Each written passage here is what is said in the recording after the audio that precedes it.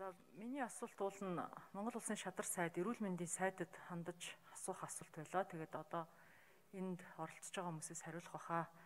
За анх 3 дугаар сар эхлээд Завхан аймагт коронавирусын 3 өөр тохиолдлын халдвар илрээд байгаа. Өнөөдөр Завхан аймаг бол нэлээд эрсдэлтэй аймагуудын тоонд орсон байж байна.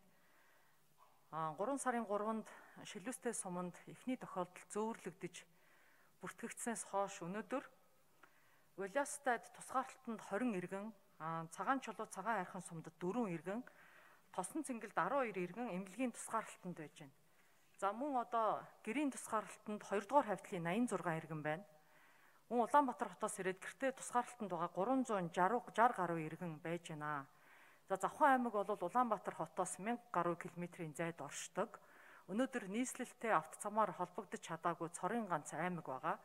А гэтэл одоо энэ PCR шинжилгээний хариу ирэх дундаж хугацаа нь 72 цаг байж байгаа.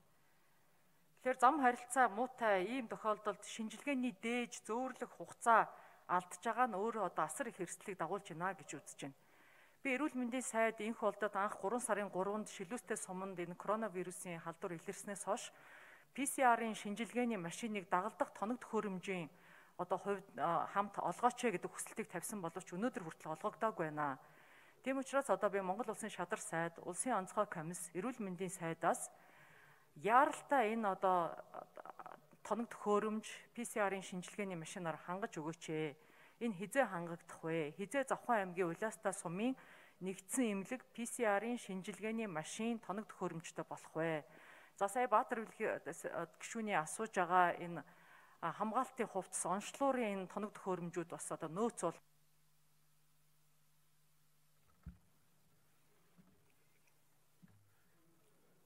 За улсын онцгой хэмжээ наримчгийн дараа гамглаа.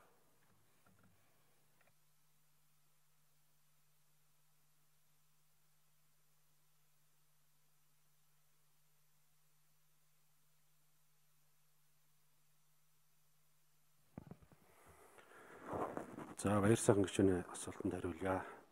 За Завхан аймгийн хувьд бол эрсдэл өндөртэй байгаа нүнэ. Цагаан хайрхан досон зэнгэл чөлөөстэй сумдуудаар халдварын голомттой байгаа өдөрт 2 удаа мэдээлэл солилцож ажиллаж байгаа онцгой амьстай нь бол нэлээд гайгүй холбоотой ажиллаж байгаа. PCR-ын аппаратын хувьд бол одоо хэрэгцээтэй байгаа энэ 14 PCR аппаратаар бол хангах санхүүжилтийн асуудал нь бол үнэхээр байхгүй болцсон байлээ эрүүл мэндийн яамдаар. Тэгэхээр зэрэг энэ PCR-ын аппаратыг хэдийд нийлүүлэх гэдгийг нь бол одоо бол тодорхой хэлэх боломжгүй нь бол үний юм байлээ. За Завхан аймаг өөрөө шилвстэйгээс одоо би өөрөө хариуцж ажиллаж байсан. Тэр 72 цаг бараг тэрээс илүү явж шинжилгээнийх нь хариу гараад байгаа. Харин одоо хүмүүс нөгөө өнөөдрийн байдлаар бол одоо эдгэрэлт солиостойхон бол гайгүй болцсон. За тэр ажилтнанд байгаа хүмүүс бол ямар хуу цаашид үргэлжлэх үү гэдэг нь тодорхой биш байна. А хэрвээ ингээд нөхцөл байдал хөндөрвөл ямар хөлбөр сонгох вэ гэж Завхан аймгийн онцгой комисстай яриад эхний удаа бол энэ хөнгөн гэдгийг нь бол одоо тэнд нь бас байгаль цаг ууртаа маш хөнгөн гэдгийг нь бол эдгээгээд ингээд завхан дараа шүлэстэй дээр эдгээгээд үтцсэн учраас энийг юм бол ажилтны байл шилжүүлье гэсэн иймэрхүү шийдвэртэй байгаа. Ярьсан гэж байна. За нэг минут тодруулъя байсан гэж.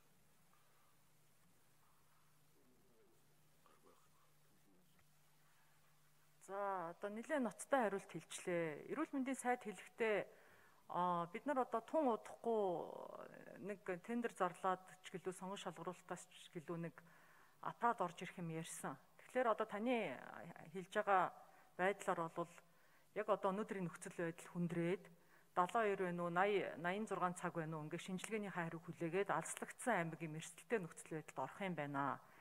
Тийм учраас одоо яаралтай энэ дээр арга хэмжээ авч өгөө ганцхан одоо эсвэл одоо энэ нийслэлээсээ юм уу эсвэл одоо бусад аймагуудад ногоон бүст байгаа техник тоног төхөөрөмж нь олгогдсон аймагаас шилжүүлж Завхан аймагт одоо маргаашийн дотор байдаг юм уу энэ маш яралтай энэ тоног төхөөрөмж өөр хангаж өгөөч гэж би хүсэж байна. Олон аймагуд тоног төхөөрөмжөө автсан тэгсэн мөртөө ногоон бүс байж байгаа шүү дээ.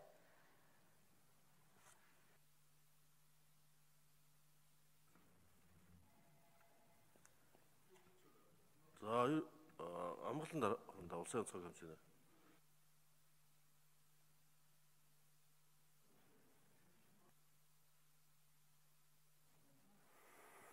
Барьсан гүшүүн гүшүүнээс асуултанд хариулъя. Хувилбар бол байгаа хөдөлгөөнт PCR аппаратаа наашин татаад ингээд бэлтгэх ажлууд хийгдэж байгаа. Энийг ямар нөхцөл байдлаар уншаад аль руу шилжүүлэх вэ гэдгээ зоон зүүнсний судлалын төв дээр мэрэгжлийн хөдөлгөөнт аппаратууд нь цагаан хадандаар ажиллаж байгаа. Цагаан хадных PCR-ых өнөө өчигдөр ашиглалтанд орсон. Одоо наашин татцсан байж байгаа. Тэгээд тэн дээрээ бол хувилбарыг тоосож байгаа. Явуулах. Явуулах.